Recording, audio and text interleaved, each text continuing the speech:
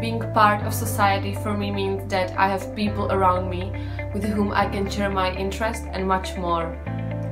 The benefit of being part of a society is when you come to a new place and you don't have a friends and you feel alone, but after you join the society, you will never feel alone again.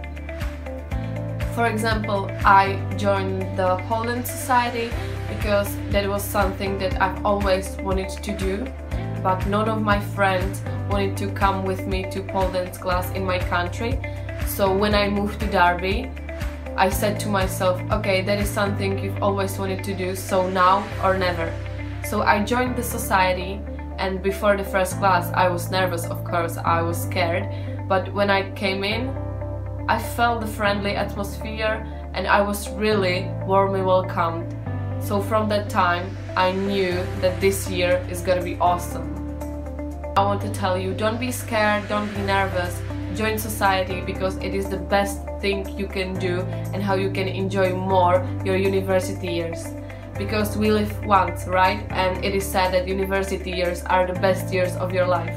So join society, find new friends and share interests.